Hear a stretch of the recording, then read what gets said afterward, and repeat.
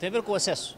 As condições são diferentes, não, não, eu não nem sequer responderia a essa pergunta, não creio que haja desinteresse.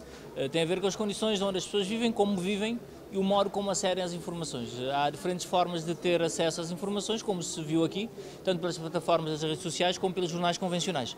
O que me preocupa é que determinados tipos de comunicação, plataformas de comunicação social não cheguem às pessoas onde estejam. Ou seja, aqui está é o sentido contrário é perguntar como, o que fazer para que os meios de comunicação social de facto cheguem. Se houver um número superior, uma porcentagem superior a 80% de cabo-verdianos têm acesso à televisão. Isso significa que têm acesso à comunicação social. Não têm acesso ao jornal impresso, por exemplo. Não têm acesso aos jornais online, por exemplo. Mas têm, de certa forma, acesso à informação. Então, neste momento, não é a altura de dar maior atenção aos meios locais?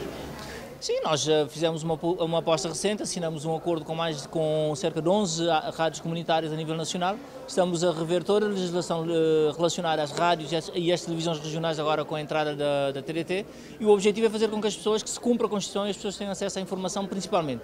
Quanto aos outros conteúdos, hoje está disponibilizado a, a possibilidade de ter eh, assinatura de pacotes através de duas empresas que o disponibilizam, mas também temos as redes sociais como plataforma que dá acesso a outros canais.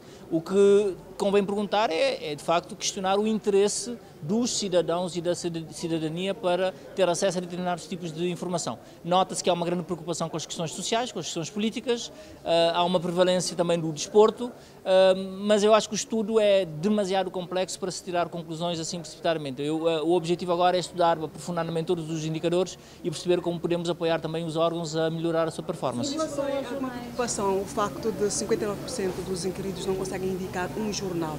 Essa é uma preocupação? Há alguma... É uma preocupação, significa que o nível de literacia uh, ligado à informação e à, e, à, e à, comunicação social é bastante baixa quando falamos da comunicação social uh, impressa. Isso significa também que os jornais não têm tido uh, uma política de levar o seu produto às, às pessoas. Nota-se que em centros urbanos como Mindelo ou Praia, esse nível é bastante elevado, o que uh, ainda reduz ainda mais essa média. Mas há, há, locais em Cabo Verde onde simplesmente não há acesso aos jornais porque os jornais não chegam. aqui põe-se outra vez a velha questão da distribuição, da redistribuição dos jornais, que não existe da, da, previsibilidade da saída dos jornais, como se vê em Cabo Verde, os jornais variam muito o dia em que saem, às vezes estava fixado quarta, quinta e sexta, mas neste momento há uma variação, uh, significa que é preciso repensar. O jornal impresso uh, diz-se que está ameaçado pelo, pelos online, mas aqui há claramente um outro problema adicional em Cabo Verde, que tem a ver com, com a insularidade, somos ilhas, e muitas vezes os jornais não conseguem chegar a tempo útil para, para, serem, eh, para serem atrativas, digamos assim. A grande questão é, a grande parte das notícias quando saem nos jornais, eh, nos jornais impressos já, já foram noticiadas, já foram consumidas de outra forma. Isso, significa, isso lança outros desafios aos jornais impressos, que é ter outro tipo de matéria, mais aprofundar o jornalismo de informação.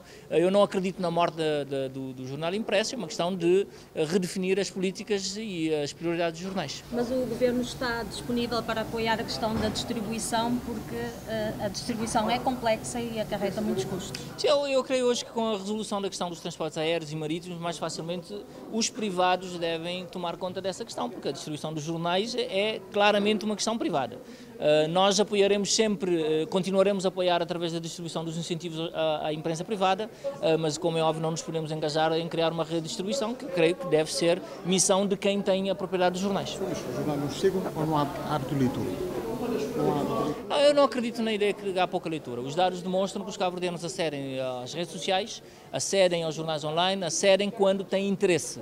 Eh, eu não acredito, eu creio que Cabo, os dados de literacia em Cabo Verde são, são bastante animadoras, as pessoas procuram conhecimento e procuram informação.